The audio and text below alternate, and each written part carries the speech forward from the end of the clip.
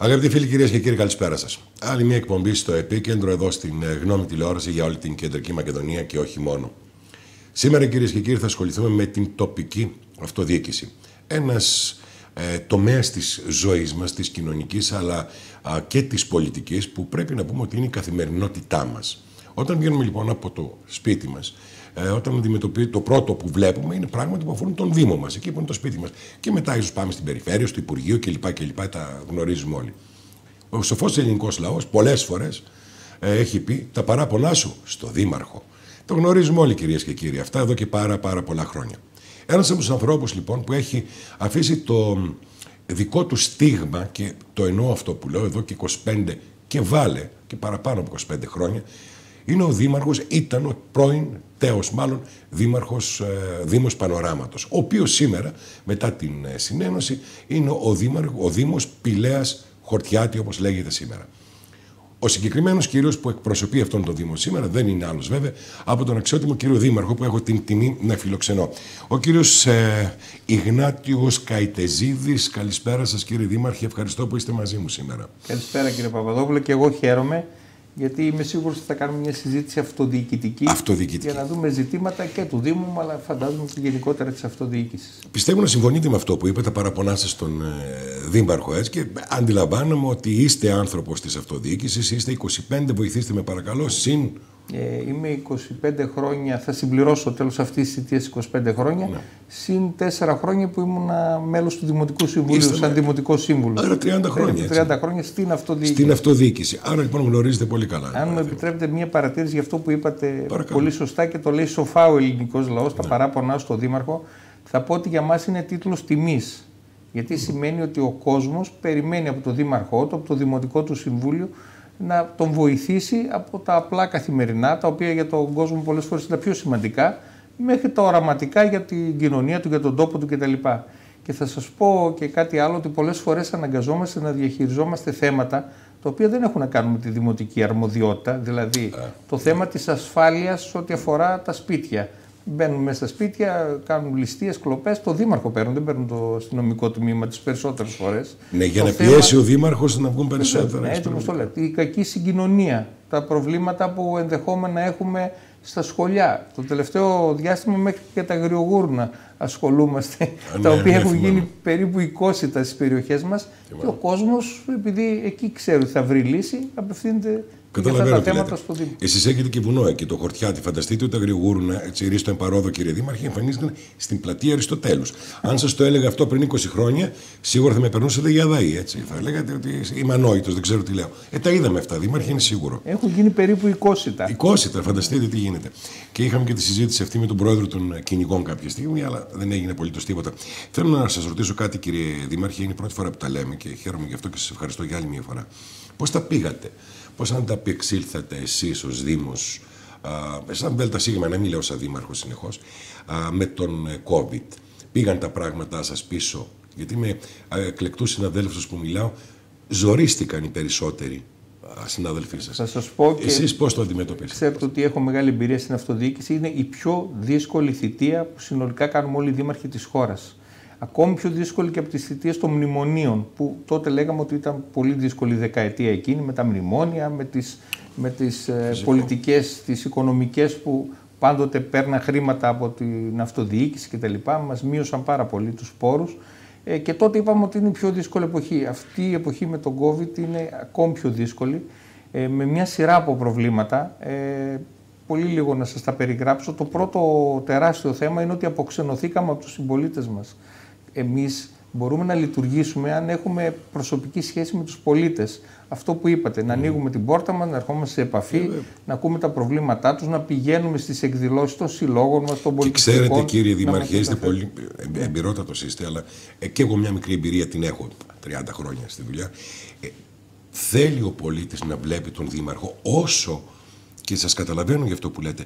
Θα μου λέτε, ε, τι να πρωτοκάνω κι εγώ, ένας δήμαρχος σε, τόσα, σε τόσες περιοχές και κάθε μια με τα δικά της. Πού να προλάβω να τρέχω, αλλά ειλικρινά ο κόσμος Χρειάζεται να σας βλέπει, ξέρετε, εμείς παλιά το λέγαμε, να σε βλέπει στο καφενείο, το λέγαμε. Δεν ξέρω. το καφενείο αν, αν αντιλαμβάνεστε, μορφή, μπράβο, αν αντιλαμβάνεστε την, ε, την έννοια που λέω. Ναι, και από τη δική μας όμως πλευρά θέλουμε να βλέπουμε τον κόσμο μας. Θέλουμε να έχουμε τη ζωντανή καθημερινή επαφή με τον κόσμο. Αυτή τη στερηθήκαμε. Και ο κόσμος τη στερήθηκε από εμάς και εμείς από τους συμπολίτες μας ε, για λόγους ασφάλειας ήμασταν κλεισμένοι στα, στα γραφεία μας ή στα σπίτια μας.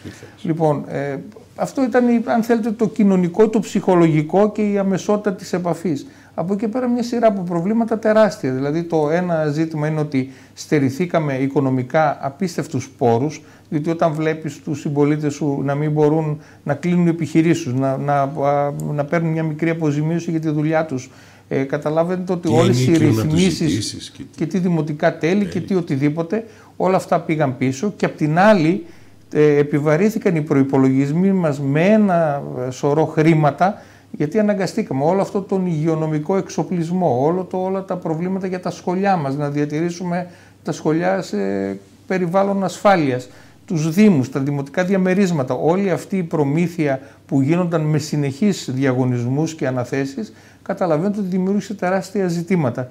Θα σας πω όμως και το άλλο που και αυτό ήταν ένα τεράστιο ζήτημα, οι υπηρεσίες καθαριότητας παραδείγματος ναι. χάρη, οι οποίες είναι ήδη υποστελεχωμένες στους Δήμους.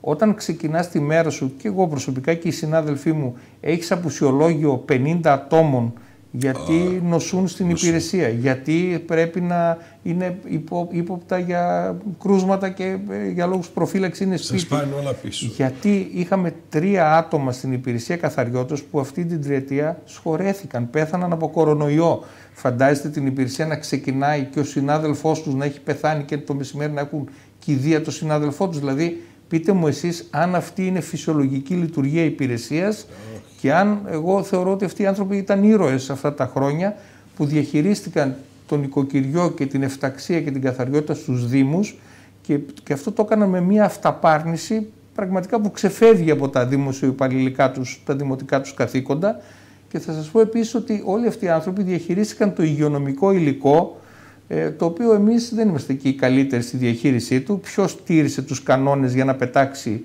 τη μάσκα του, να πετάξει τα γάντια, να πετάξει ναι. τα υγειονομικά υλικά.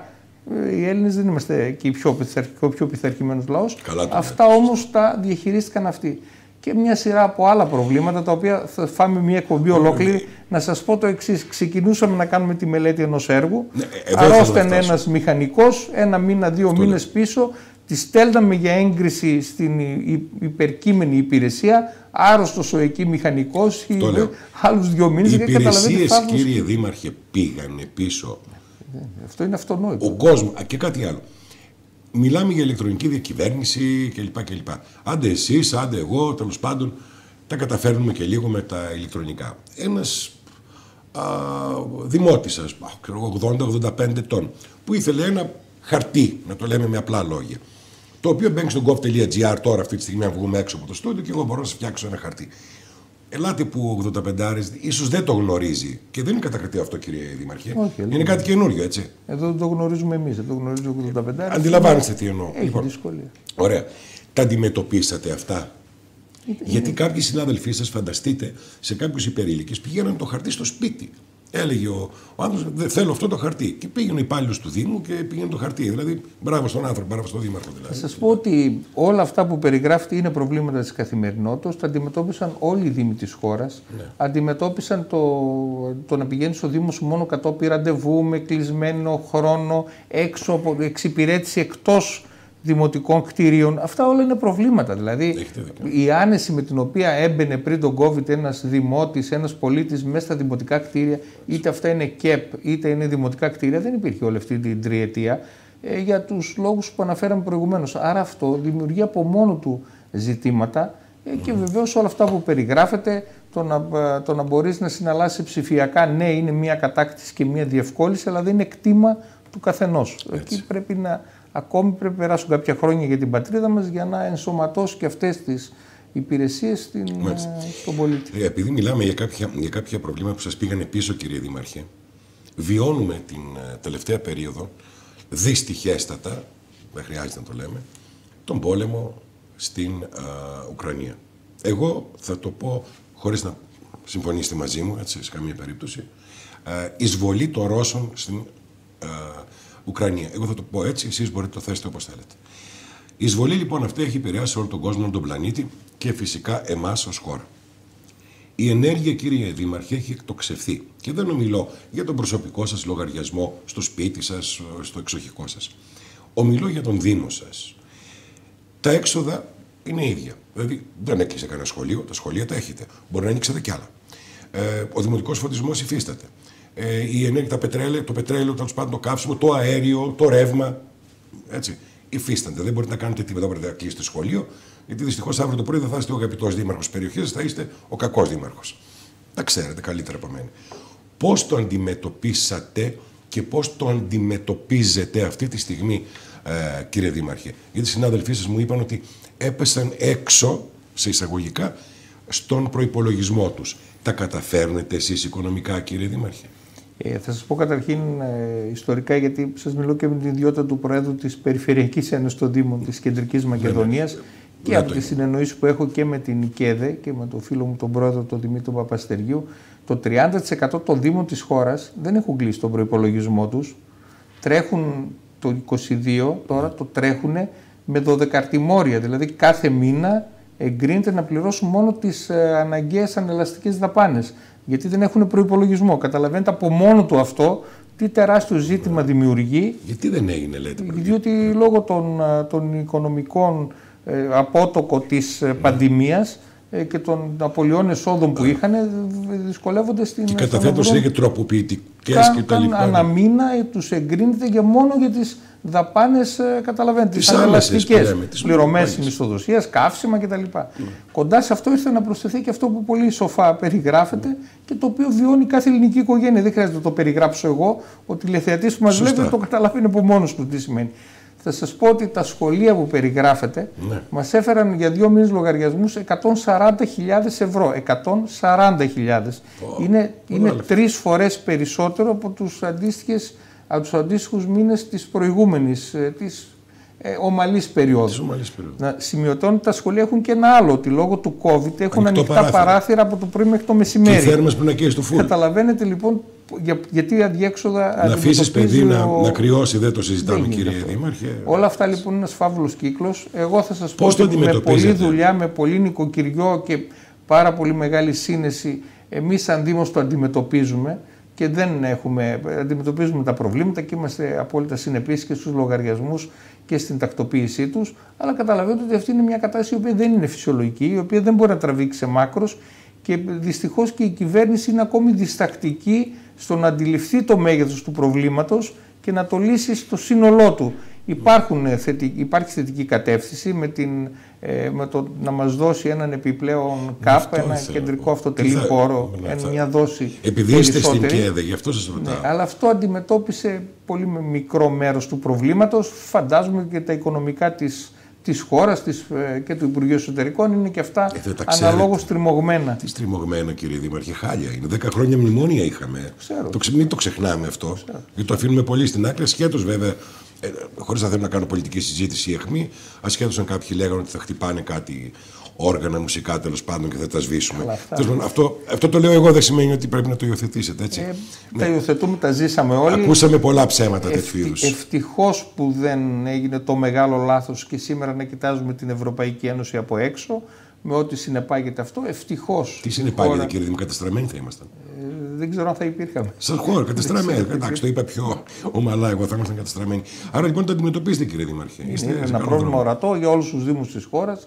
Ε, δεν σας το κρύβω ότι και, τα, και τα, τη συνεδριάση του Διοικητικού Συμβουλίου της ΚΕΔΕ με τη συμμετοχή των περιφερειακών ενώσεων όπως η δική μας και, στην, ε, και στο, στη Γενική Συνέλευση που έγινε εδώ στη Σαλονίκη της ΚΕΔΕ αλλά και την έκτακτη Γενική Συνέλευση όλων των Δημάρχων πριν από ένα μήνα περίπου στην Αθήνα είναι τα, τα βασικά θέματα που θέτουμε. Το ενεργειακό κόστος δηλαδή είναι το πρώτο θέμα που με επίταση θέτουμε και ζητάμε εναγωνίως λύση γιατί δεν σας το κρύβω ότι πολλοί άλλοι δήμοι και στη διαδρομή θα βρεθούν ε, σε αδιέξοδο. Κάνατε κάποιες περικοπές, κύριε Δήμαρχε, στην περιοχή, στον Δήμο σας, τέλος πάντων; Κοιτάξτε, εμείς ε, με συνεχεί εγκυκλίου στα. Θα σας πω λίγο τι κάνουμε. Εμείς με συνεχεί εγκυκλίου στα... Ε, στους χρήστες τους ζητούμε να έχουν μια λελογισμένη κατανάλωση για να μπορούμε να έχουμε καλύτερα μεγέθη. Ε, θα σας πω ότι έχουμε πετύχει μια, κατανα... μια μείωση της τάξης του 14% και θέλω να σας δώσω μια είδηση που αφορά και τους ε, τηλεθεατές μας ότι ε, έχουμε προχωρήσει τα τελευταία τέσσερα χρόνια ένα μεγάλο έργο της αναβάθμισης όλου του δημοτικού φωτισμού. Μιλώ για 9.000 περίπου κολόνες, ε, λαμπτήρες, που αντικαθίσταται από τη μια άκρη του Δήμου στην άλλη με LED φωτισμό. Αυτό αφού πέρασε όλους τους ελέγχους που μπορείτε να φανταστείτε, τέλος πάντων τελείωσε, έγινε και ο διαγωνισμός και είναι τώρα 1,5 μήνα που δουλεύει ο εργολάβος και αντικαθιστά με LED φωτισμό αυτές τις 9.000 περίπου κολόνες. Και αυτό... καλό για το περιβάλλον είναι αυτό, έτσι, να μην το ξεχνάμε. Αυτό μας δίνει μια οικονομία της τάξης. Αυτά δήμαρχια είναι αυτόνομα. Ηλιακά αυτό... λέτε; Όχι, είναι Όχι. LED φωτισμός. Είναι άλλος φωτισμός ναι, καλύτερης ποιότητας ναι. από το συμβατικό και μέχρι 70% εξοικονόμηση ενέργειας. ενέργειας από 60 μέχρι 70. Ναι. Οι υπολογισμοί δικοί μας είναι ότι μόνο από την ολοκλήρωση αυτού του προγράμματος που θα τελειώσει το επόμενο τρίμηνο ο Δήμος θα εξοικονομεί περίπου 500.000 ευρώ το χρόνο από τους λογαριασμούς Μεγάλο ποσό, του, έχοντας ταυτόχρονα καλύτερη ποιότητα και σε τέτοιες εποχές, και σε τέτοιες εποχές έχοντας φωτισμένες γειτονιές. Mm. Κύριε Δήμαρχε, θα πάω σε ένα διαφημιστικό διάλειμμα τώρα αμέσως και θα μιλήσουμε, θα συνεχίσουμε για την εξοικονόμηση ενέργειας και αμέσως μετά θα να πάμε να δούμε κάποια έργα που γίνονται στον Δήμο σας. Αλλά άκουσα κάποια παράπονα. Θα πρέπει να μας απαντήσετε εδώ πέρα. Είμαστε εδώ. Ωραία. Λοιπόν, επιστροφή σε λίγο κυρίες και κύριοι, σε πολύ λίγα λεπτά. Επιστροφή με τον αξιότιμο δήμαρχο Πηλέας Χορτιάτη, ο οποίος είναι ένας από τους πιο έμπειρους και παλαιούς δημάρχους της περιφέρειας Κεντρικής Μακεδονίας. Να το λέμε έτσι. Επιστροφή σε λίγο. Επιστροφή κυρίες και κύριοι στην εκπομπή μας. Πολύ σύντομη σύνδεση με τα προηγούμενα. Στο επίκεντρο σήμερα η τοπική αυτοδιοίκηση. Μιλάμε με τον αξιότιμο δήμαρχο Πηλέα Χορτιάτη, τον κύριο Καϊτετζίδη Ιγνάτιο. Κύριε Καϊτετζίδη, μείναμε πριν από λίγο στην εξοικονόμηση ενέργειας. Μου είπατε έχετε 9.000 λαμπτήρες. Με απλά λόγια. Δημοτικού φωτισμού. Δημοτικός φωτισμό. Κολόνες που λέμε. Να το λέμε και λίγο απλά για τους τηλεθεατές. Τους αντικαθιστάτε με LED και πολύ καλά κάνετε. 500.000 ευρώ το χρόνο γλιτώνετε, χρήματα δηλαδή, από αυτό. Θέλω να ρωτήσω κάτι άλλο. Επειδή ακούγεται πάρα πολύ τελευταία η εξοικονόμηση ενέργειας και κυρίως το περιβάλλον, κύριε Δήμαρχε, γιατί κινδυνεύουμε όλοι, το γνωρίζετε. Έτσι, τον έχουμε ρημάξει τον πλανήτη μας. Mm-hmm. Ακούμε smart cities σε κάποιες άλλες περιοχές της χώρας μας και σε κάποιους Δήμους εδώ της περιφέρειας Κεντρικής Μακεδονίας αυτό εφαρμόζεται. Σκεφτήκατε, ας πούμε, να έχετε αντί για καύσιμο για βενζίνη ή πετρέλαιο, ηλεκτρικά αυτοκίνητα, να κάνετε κάποιους ποδηλατόδρομους ίσως στις πόλεις σας, μάλλον στις περιοχές του Δήμου σας. Τι έχετε κάνει σε αυτό το τομέα; Θα σας πω ότι ίσως δεν είναι γνωστό ευρύτερα, αλλά είμαστε από τους πρωταγωνιστές στην, στην αξιοποίηση των smart τεχνολογιών, αυτό που λέτε smart cities, smart cities ε, και σε διάφορες παραμέτρους. Επίσης θα σας δώσω ένα στοιχείο ότι στις καινοτόμες εφαρμογές που κυρίως βασίζονται σε αυτό ε, για το οποίο γίνεται διαγωνισμός ετήσιος στο, με όλους τους δήμους της χώρας ε, μεταξύ, που θεσμοθετημένα λέγεται Best City Awards. Ο Δήμος μας σε τέσσερα μόλις χρόνια έχει ναι. πάρει οχτώ ε, βραβεία. Το, το έχω διαβάσει αυτό κάπου, αλλά δεν το, το κάνετε και ευρέως γνωστό. Για πείτε μου γι' αυτό. Ναι. Εμείς προσπαθούμε να το επικοινωνήσουμε. Θα σας πω το τελευταίο που πήραμε και είναι πολύ σημαντικό με αυτό που συζητάμε. Το Ιανό, ένα σύστημα Ιανό με μια ηλεκτρονική πλατφόρμα που ελέγχει την κατανάλωση ενέργειας στα δημοτικά κτίρια και στο δημοτικό φωτισμό ε, σε real time, σε πραγματικό ναι, χρόνο. Αποτυπώνει αυτό που σας περιέγραψα προηγουμένως ότι είχαμε 14% εξοικονόμηση ενέργειας ε, και ε, επίσης αντίστοιχα 5% ε, οικονομική εξοικονόμηση γιατί τα τιμολόγια ανέβηκαν και αυτή η εφαρμογή μας βραβεύτηκε με αργυρό βραβείο μεταξύ όλων των δήμων της χώρας σε αυτόν τον θεσμό. Ε, θα σας πω επίσης ότι είμαστε από τους δήμους που έχουμε πάνω από 25 εφαρμογές που είναι πλήρως ψηφιακές Δηλαδή ο πολίτης δεν χρειάζεται καν για δημοτολόγια, για πιστοποιητικά κτλ. να έρθει στο Δημαρχείο, τα, τα υποβάλλει από το ε, σπίτι του, από τον υπολογιστή του και τα παίρνει στον υπολογιστή του. Ε, να σας πω ότι είμαστε από τις τρεις μόλις πολεοδομίες της χώρας που όλες οι συναλλαγές γίνονται αποκλειστικά ψηφιακά, δηλαδή δεν είναι εναλλακτικό. Μπορώ και με φυσική παρουσία ή μπορώ και ψηφιακά. Μόνο ψηφιακά μπορείς να κάνεις συναλλαγή. Επομένως όλο αυτό το σύστημα υποστηρίζει την πολεοδομία του Δήμου. Μια σειρά από κοινωνικές εφαρμογές όπως την τηλεϊατρική που υπάρχει για τις απομακρυσμένες περιοχές και εξετάζει τους συμπολίτες μας και τα αποτελέσματα διαβιβάζονται σε δύο νοσοκομεία και τους δίνονται χωρίς να χρειάζεται αυτοί να μετακινηθούν ε, και μια σειρά από άλλες εφαρμογές που έχουν να κάνουν με την αξιοποίηση της σύγχρονης τεχνολογίας. Φτάσαμε να παρακολουθούμε ακόμα και για μοναχικά, μοναχικά άτομα που είναι στο σπίτι τους με μπουτόν ασφαλείας την, την, κίνηση, ναι, την κίνησή τους με 24 ώρη ε, παρακολούθηση και για το αν συμβαίνει κάτι να μπορούν να κινητοποιηθούν οι άνθρωποι που θα τους βοηθήσουν και είχαμε δύο περιπτώσεις που πραγματικά αποδείχτηκαν σωτήριες. Ε, αυτά τα θεωρώ ότι είναι κατάκτηση και για το Δήμο και για την κοινωνία μας και ευρύτερα για την αυτοδιοίκηση. Ε, Επίσης, ίσως και αυτό δεν είναι γνωστό ότι το Δημοτικό μας Συμβούλιο που προεδρεύει ο φίλος μου ο Μιχάλης Ογεράνης ε, εδώ και πέντε χρόνια συνεδριάζει μόνο ψηφιακά. Δεν υπάρχουν έγγραφα στο Δημοτικό Συμβούλιο.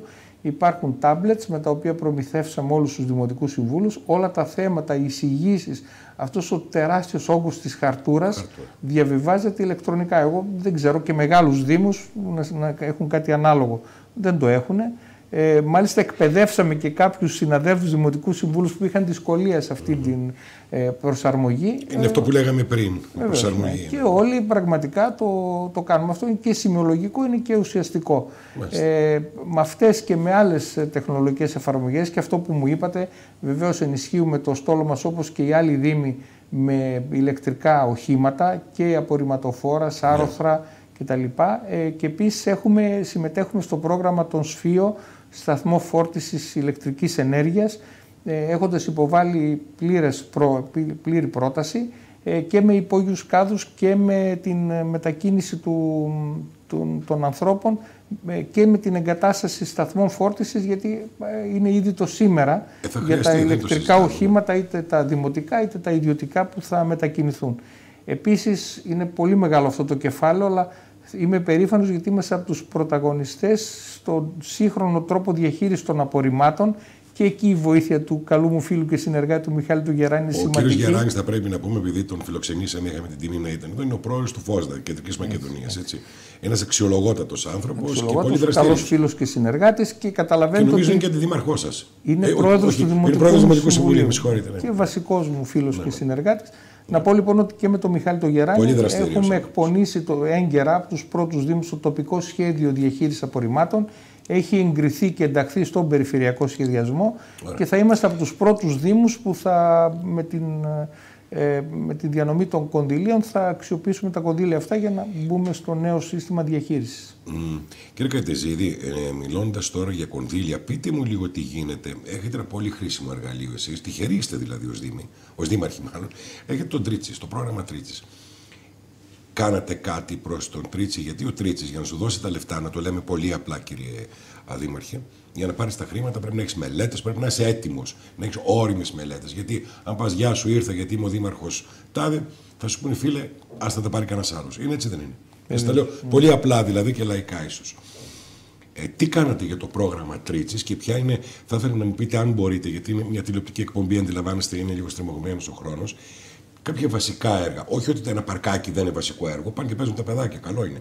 Αλλά ας μιλήσουμε για κάποια μεγάλα έργα που έχετε βάλει στο Τρίτσι και ίσως έχουν εγκριθεί και ίσως οι, πολίτες, οι δημότες σας κάποια στιγμή να τα δουν να εφαρμόζονται. Ε, θα σας πω ότι και εκεί πραγματικά έχουμε ξεπεράσει το όριο που έθετε ο Δήμος για, το, ε, για το, η πολιτεία, το Υπουργείο Εσωτερικών για τον Δήμο μας, mm. ε, που ήταν 18 εκατομμύρια. Όσο, όσο, και περισσότερα να βάλεις δεν θα τα πάρεις ποτέ κύριε Δημαρχέ. Επειδή, επειδή αξιοποιήσαμε μια ιδιαιτερότητα που είχε να κάνει με το ε, δίκτυο ίδρυυσης στο, στο Φίλιρο, ναι. το οποίο είναι ένα εμβληματικό έργο και συνδέεται με το παιδιατρικό νοσοκομείο που κατασκευάζει το Ίδρυμα Σταύρος Μιάρκος, ναι. μπορούσαμε να απορροφήσουμε περισσότερα. Θα σας πω λοιπόν ότι έχουμε ξεπεράσει το όριο, έχουμε δηλαδή δέσμευση του 100%. Αυτό θέλει πολλά λεφτά κύριε Δημαρχή. Ε, θα σας πω. Ε, αυτό από μόνο του που περιγράφουμε το δίκτυο ίδρυυσης ήταν 9 εκατομμύρια ευρώ ε, που δεσμεύτηκαν υπέρ του Δήμου μας με δέσμευση του ίδιου του Πρωθυπουργού και έτσι εντάχθηκαν και έτσι εγκρίθηκαν.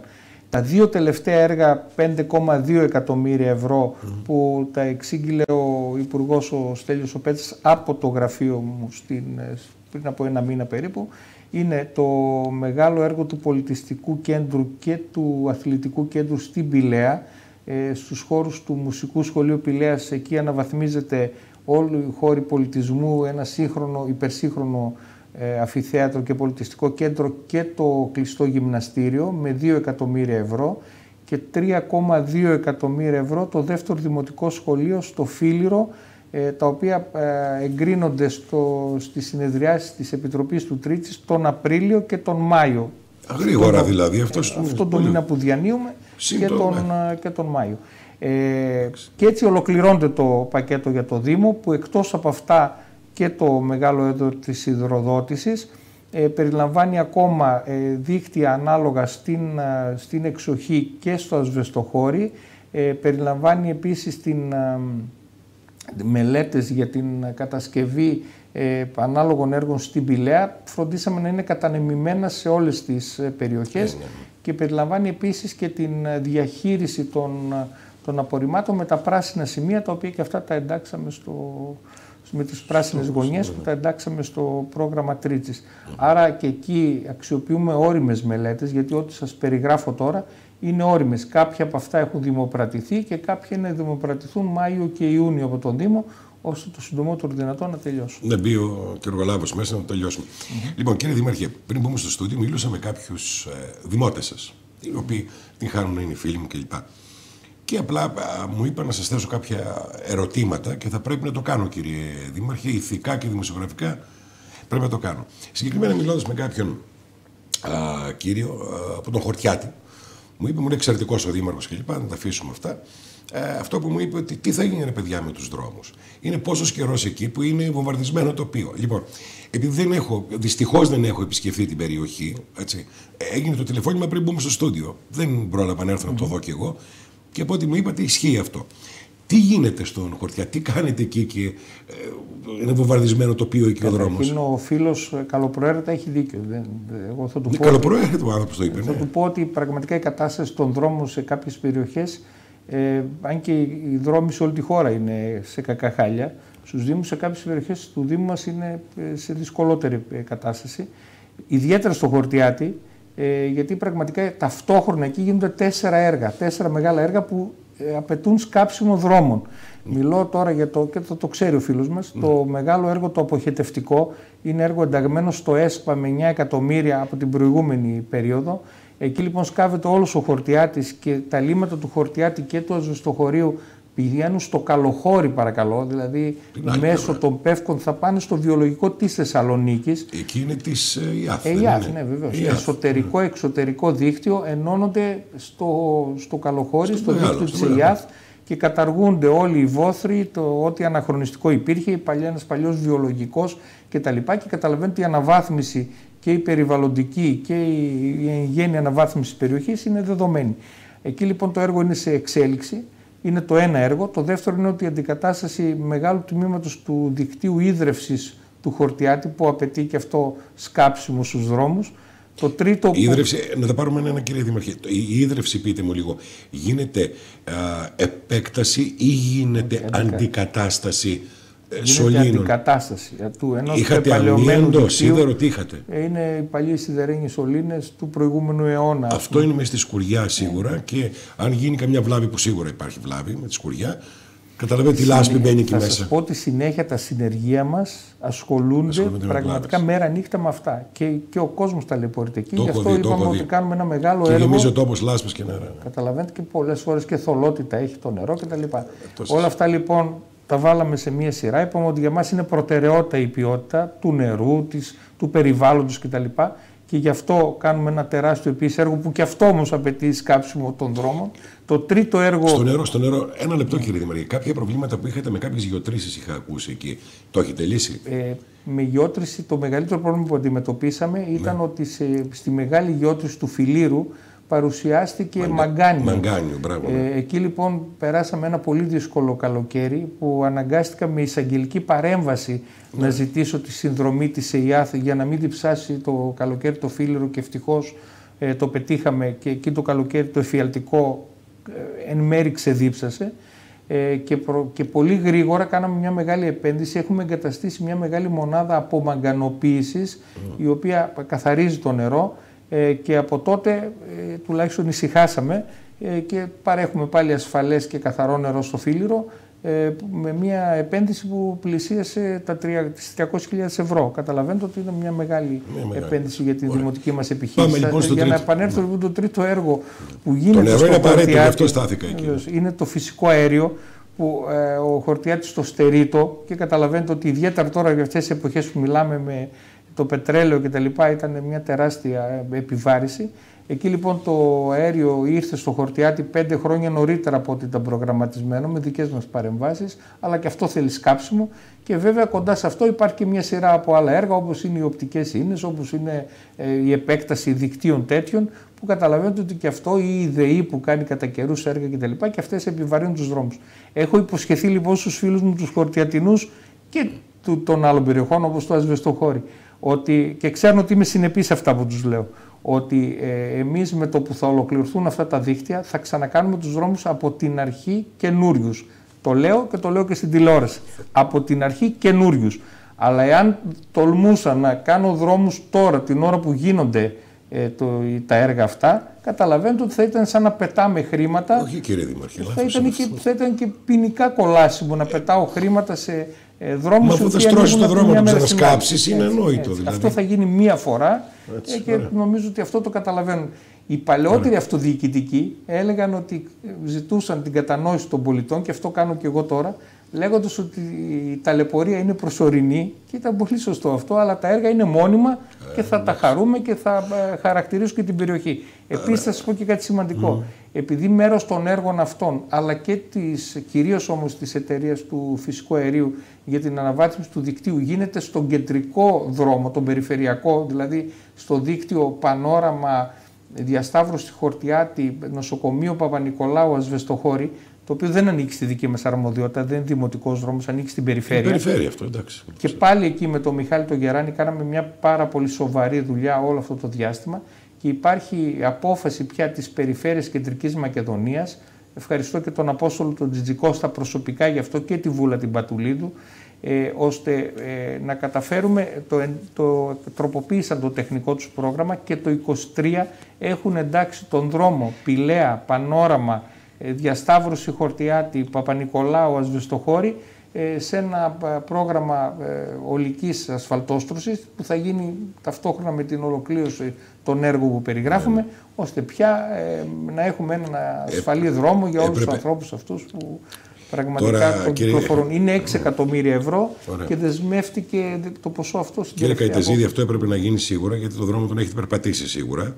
Τον περπατάτε τον μάλλον. Κάθε, κάθε μέρα. Κάθε μέρα το κάνετε. Εσείς λοιπόν με λακκούβες. Με...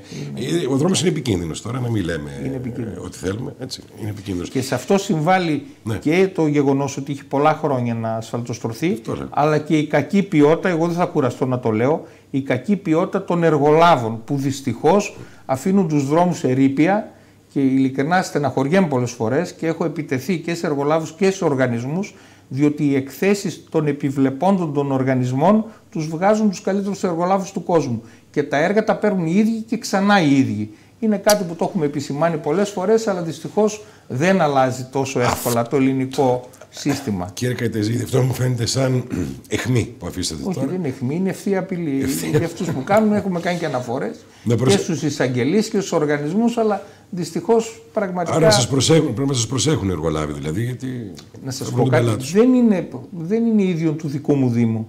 Αν μαζέψετε εδώ και τους 320 δημάρχους της χώρας, τα ίδια πράγματα θα σας πω. Το ίδιο κακό περνάμε όλοι. δεν, δεν το ζω μόνο εγώ, το ζουν όλοι οι συνάδελφοί μου. Τα έχω, σας δίνω το λόγο μου, κύριε Καϊτεζίδη, τα έχω ξανακούσει πολλές φορές και από συναδέλφους σας και εκλεκτού και παλαιού. Θα επιστρέψουμε σε πολύ λίγο. Θέλω αμέσως μετά να σταθούμε λίγο στο νοσοκομείο το νοσοκομείο παιδών που γίνεται mm-hmm. με το, το Ίδρυμα Σταύρος Νιάρχος στην περιοχή σας και κάποια πράγματα που ακούγονται απλά θέλω να μου τα εξηγήσετε ακόμη καλύτερα γιατί τα γνωρίζετε ίσως καλύτερα και πολύ καλύτερα από όλους μας. Κυρίες και κύριοι, επιστροφή σε πολύ λίγο με τον α, Δήμαρχο Πηλέας Χορτιάτης.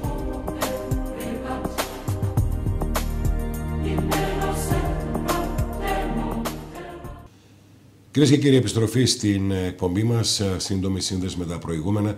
Απόψινό αυτοδιοικητικός, παλαιός αυτοδιοικητικός καλεσμένος, ο Δήμαρχος Πηλέα Χορτιάτη, ο κύριος Καϊτεζίδης Ιγνάτιος. Κύριε Δήμαρχε, μείναμε πριν από λίγο στα θέματα και καλά κάνετε και θα εξηγήσετε περισσότερο για τους συμπολίτες σας, τους δημότες σας εκεί. Κάτι τελευταίο. Παιδιατρικό νοσοκομείο, το οποίο γίνεται στον Δήμο σας, στην περιοχή σας. Και τι ερωτώ, Έχω ακούσει πάρα πολλά για αυτό το νοσοκομείο. Εγώ είμαι υπέρ των να γίνουν άλλα 10 σαν και αυτό. Αλλά 20, άλλα 200. Δεν το συζητάμε. Πώς θα πηγαίνουμε εκεί; Γιατί δεν έγινε σε άλλη περιοχή και έγινε εκεί που είναι ερημιά. Πώς θα πάει το νερό εκεί που δεν έχει και πολύ νερό η περιοχή και όλα αυτά; Δηλαδή κάποια προβλήματα α, για τα οποία πιστεύω ότι πρέπει να δώσετε μία απάντηση γιατί ακούω πάρα πολλά και έχω μπερδευτεί και εγώ ως δημοσιογράφος πραγματικά πώς θα υπάρχει πρόσβαση εκεί, γιατί αν ρίξεις κανένα χιόνι εκεί πέρα πάνω, πώς θα γίνει; Μπορείτε να μας τα εξηγήσετε και κυρίως για τους ανθρώπους που μας ακούνε τώρα, κύριε. Καταρχήν θέλω να πω ότι το πανεπιστημιακό νοσοκομείο που γίνεται με τη γενναιόδορη αποκλειστική οικονομική στήριξη του Ιδρύματος Σταύρος Νιάρχος είναι μια ευλογία όχι μόνο για το Δήμο μας, όχι για την Θεσσαλονίκη ευρύτερα, αλλά για, την, για όλη την Ελλάδα. Και θα σας πω και διακινδυνεύω την πρόβλεψη από τώρα και δεν θα πέσω έξω ότι θα είναι ένα από τα καλύτερα νοσοκομεία του κόσμου, όχι της Ευρώπης, του κόσμου. Ακούστε το και το καταγράφουμε. Ναι, μου φαίνεται λοιπόν, περίεργο που το λέτε, όχι Μάλιστα θα σας πω ότι επειδή δυόμιση χρόνια συνεργάζομαι με τους ανθρώπους του Ιδρύματος Σταύρος Νιάρχος, οι οποίοι είναι εξαιρετικοί επαγγελματίες, οι οποίοι ό,τι λένε το τηρούν ακριβώς όπως το λένε, ότι οι άνθρωποι αυτοί είναι συνεπείς, συνεπέστατοι και στα χρονοδιαγράμματά τους και στον τρόπο που αντιλαμβάνονται αυτό το νοσοκομείο το οποίο σχεδιάζεται από έναν κορυφαίο αρχιτέκτονα παγκόσμιας ακτινοβολίας, τον Ιταλό το Ρέτζο Πιάνο και την ομάδα του. Είναι αυτός που σχεδίασε και το Ίδρυμα Σταύρος Νιάρχος στην Αθήνα. Εξαιρετικό. Ε, θα σας πω μόνο μία λεπτομέρεια, ίσως δύο, ε, για την ευαισθησία που αγκαλιάζει το Ίδρυμα Σταύρος Νιάρχος σε αυτό το νοσοκομείο. Θα σας πω ότι το πρώτο είναι ότι από σεβασμό στα παιδιά ε, τα δωμάτια τους στη συντριπτική πλειοψηφία θα είναι μονόκλινα δωμάτια για να μην στηβάζονται παιδιά σε χώρους που δεν πρέπει, από σεβασμό. Και το δεύτερο ότι έχουν φροντίσει, δείτε λεπτομέρεια, να έχουν επάλληλα συστήματα αερισμού των χώρων για να μην ενοχλούνται τα παιδάκια ακόμη και από τις νοσοκομιακές μυρωδιές. Δηλαδή, καταλαβαίνετε ότι οι άνθρωποι ε, ναι, είναι επαγγελματίες και στις λεπτομέρειες. λεπτομέρεια. Ναι. Επίσης και το αρχιτεκτόνημα όπως μας το παρουσιάζουν και το έχουν δει και οι κάτοικοι στο Φίλιρο και όλη η Ελλάδα, ε, είναι πραγματικά κάτι για το οποίο θα είμαστε περήφανοι σαν λαός που το φιλοξενούμε όλα αυτά τα χρόνια. Τώρα, γιατί ε, το νοσοκομείο επιλέχθηκε να γίνει στο Φίλιρο. Ναι. Ε, δεν είναι μια ερημιά, έτσι. Υπάρχει μια ολόκληρη πόλη εκεί πέρα που είναι το Φίλιρο ναι. και η οποία είναι και γειτονική και με τα πεύκα δίπλα και με το περιφερειακό κτλ. Θα έλεγα ότι ίσως είναι λίγο πιο έκεντρα από το από ότι έχουμε εμείς στο μυαλό μας περιφερειακό κτλ.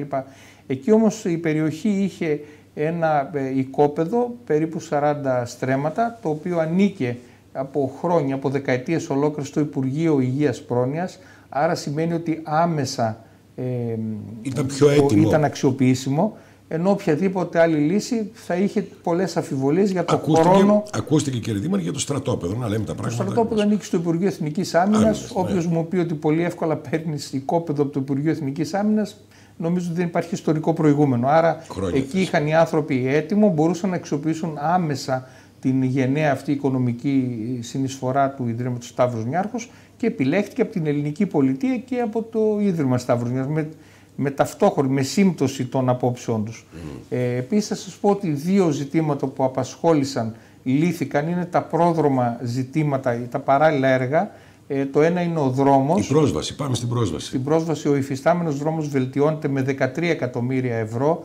Ε, είναι Βελτίωσε έργο του Υπουργείου Υποδομών. Μεγαλώνει ή απλά πέφτει μια πίσα από πάνω. πω, όχι. Βελτιώνται τα γεωμετρικά χαρακτηριστικά του δρόμου σε κάποιες περιπτώσεις όπως λέτε μεγαλώνει ε, δημιουργούνται κόμβοι, δημιουργείται άλλες ε, καλύτερες συνθήκες φωτισμού, ε, καινούριο οδόστρωμα, ε, συνθήκες ασφάλειας κτλ. Είναι ένα έργο που το διεκπαιρέωσε το Υπουργείο Υποδομών και δέσμευσε 13 εκατομμύρια γι' αυτό. Μεγάλο ποσό.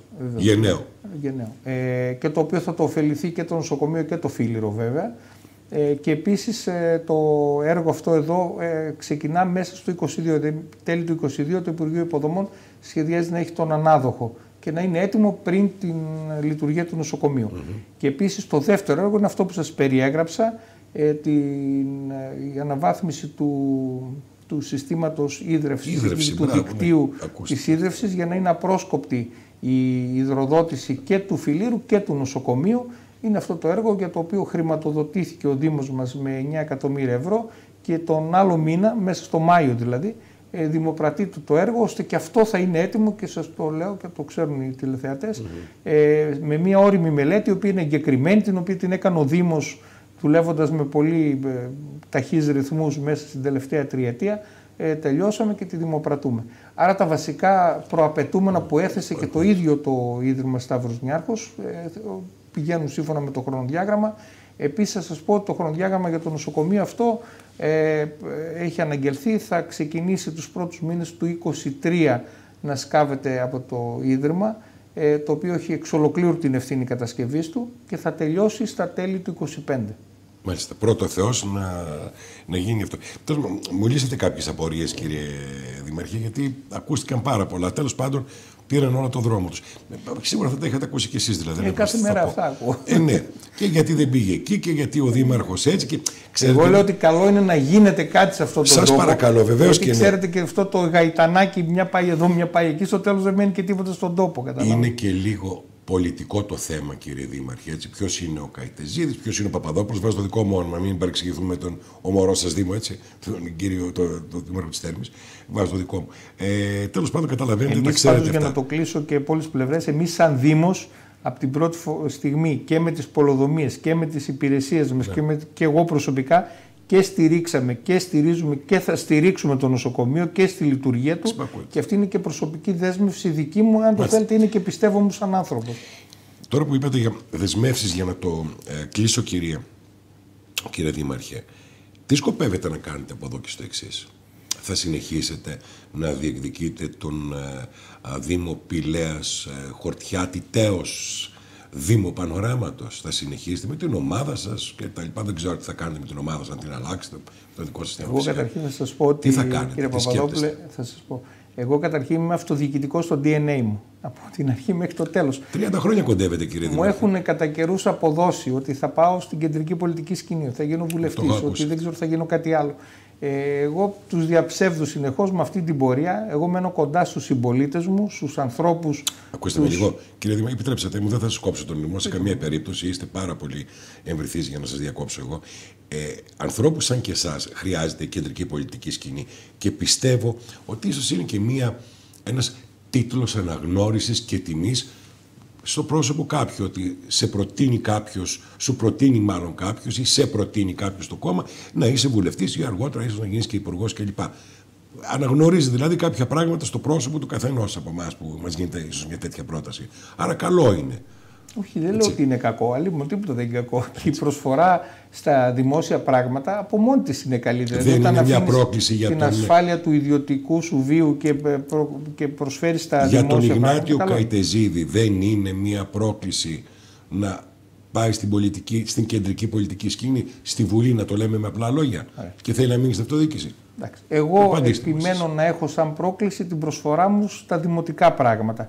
Και ξέρετε, αυτοδιοίκηση. Αυτοδιοίκηση, ναι. Μάλιστα. Πρώτου βαθμού. Μάλιστα. Και μάλιστα θα σας πω ότι είμαστε μια ομάδα τέτοιων. Θα αναφέρω κάποια ονόματα συναδέλφων μου τέτοιων που ε, τιμώνται και αυτοί με την εμπιστοσύνη των συμπολιτών του. Είναι ο Σίμω ο Δανιλίδη, είναι ο Θόδωρος ο Παπαδόπουλος στη Θέρμη, ο Λάζαρος ο Κυρίζογλου. Είμαστε μια ομάδα ανθρώπων που είναι αυτό που σας είπα, ότι έχουμε την αυτοδιοίκηση στο DNA μας. Εμείς δηλαδή βρίσκουμε τις την ικανοποίηση. τώρα, κύριε Ναι, είναι συνάδελφοί μου, έχουμε περίπου τα ίδια χρόνια στην προσφορά στην αυτοδιοίκηση και βλέπετε όμως ότι αυτό αναγνωρίζεται και τιμάται από τους συμπολίτες. Αυτή η συνέπεια, η συνέπεια και η προσήλωση στον τόπο σου και στους ανθρώπους αυτούς και τον αγωνίσαι με τα προβλήματα των ανθρώπων, νομίζω ότι το αναγνωρίζουν. Και μάλιστα να σας πω κάτι και για τους προαναφερόμενους και για μένα, πέρα από κομματικές, αν το θέλετε, ε, προελεύσεις κτλ. Όλοι μας έχουμε ε, την κομματική μας προέλευση, αλλά κανέναν, εγώ τουλάχιστον, κανέναν συμπολίτη μου που μπαίνει μέσα στο Δημαρχείο δεν τον αντιμετωπίζω με βάση την κομματική του προέλευση. Με ενδιαφέρει το πρόβλημά του, καλόπιστα να το δω και να του μιλήσω τίμια για να του πω αν αυτό μπορώ να το αντιμετωπίσω ή, ή δεν μπορώ να το αντιμετωπίσω. Αυτό κάνω χρόνια τώρα και αυτό αναγνωρίζουν οι συμπολίτες μου σε μένα. Ε, άρα να πω ότι σαν αυτοδιοίκηση και έχοντας εκλεγεί την τελευταία φορά με ένα ποσοστό 71% από την πρώτη Κυριακή, ε, πιστεύω ναι. ότι όλοι μαζί ενωμένοι, όλοι μαζί σε αυτή τη δημοτική ομάδα, τη δύναμη ενότητας, με τους καλούς μου φίλους και συνεργάτες, θα διεκδικήσουμε το Δήμο για να ολοκληρώσουμε το έργο, γιατί είναι αλήθεια ότι και αυτά που σας είπα και μια σειρά από άλλα που ο χρόνος δεν μας έπαιρνε να τα πούμε, είναι ένα τεράστιο έργο που νομίζω ότι ε, ολοκληρώνεται προς όφελος των τοπικών κοινωνιών. Θα θέλατε και κάποια στιγμή να το χαρείτε με τους συνεργάτες σας, γιατί δουλέψατε γι' αυτό. Εντάξει, φυσικό είναι, φυσιολογικό είναι αυτό, δεν είναι κάτι. Αυτό είναι και αυτό πλεονέκτημα της αυτοδιοίκησης. Ό,τι κάνουμε γίνεται δίπλα μας και μπορούμε να το χαιρόμαστε. Και μπορείτε να το χαίρεστε. Σωστά. Κύριε Κετεζίδη, ιδιαίτερη χαρά και τιμή που σας φιλοξένησα. Σας ευχαριστώ πάρα πολύ. Πιστεύω να πάνε όλα καλά και βολικά στον ε, Δήμο σας. Ε, Εμείς είμαστε ως κανάλι ανοιχτοί μπορείτε να έρχεστε εδώ να μιλάμε στους δημότες σας και βεβαίως αν έχουμε τη χαρά και την τιμή να ερχόμαστε και εμείς στο δημαρχείο σας αν μπορείτε να μας δεχθείτε και χαρά μας, έτσι. Λοιπόν, θα πρέπει να το λέμε και αυτό. Να πάνε όλα καλά και σε εσάς και στους ε, συνεργάτες σας. Καλό Πάσχα, να είμαστε γεροί όλοι και πρώτα Θεός να τελειώσει και αυτός ο πόλεμος, γιατί το κυριότερο είναι τα θύματα και μετά τα οικονομικά, να τελειώσει αυτός ο πόλεμος και να είμαστε πάλι να βρούμε την χαμένη μας ε, πορεία ζωής, να το πω έτσι. Σας ευχαριστώ πάρα πολύ. Και εγώ κύριε Παπαδόπουλο θέλω να σας ευχαριστήσω γιατί δώσατε βήμα στην αυτοδιοίκηση να εκθέσουμε τις απόψεις μας για ζητήματα τέτοια ε, και με την ευκαιρία θέλω και εγώ πραγματικά μέσα από την καρδιά μου στον κάθε τηλεθεατή που μας παρακολουθεί να ευχηθώ ε, καλό Πάσχα, καλή Ανάσταση σε αυτούς και στις οικογένειες, στους αγαπημένους ανθρώπους. Όλοι έχουμε ανάγκη λίγες στιγμές γαλήνης και αυτή μπορεί να μας την προσφέρει η Ανάσταση του Κυρίου μας. Να είστε καλά. Ευχαριστώ πολύ. Κυρίες και κύριοι, Ιδιαίτερα ευχαριστούμε εσάς για την τιμή που μας κάνατε και παρακολουθήσατε την ε, σημερινή εκπομπή. Ήταν ο αξιότιμος ε, κύριος Δήμαρχος Πηλέας Χορτιάτη. Εμείς θα είμαστε αύριο και πάλι μαζί εδώ στις 9 το βράδυ όπως κάθε μέρα και στη 1 και μισή το βράδυ μετά σε επανάληψη για όσους δεν μπορούν να το δουν στις 9. Καλό βράδυ, καλή ξεκούραση σε όλους. Ευχαριστούμε πολύ.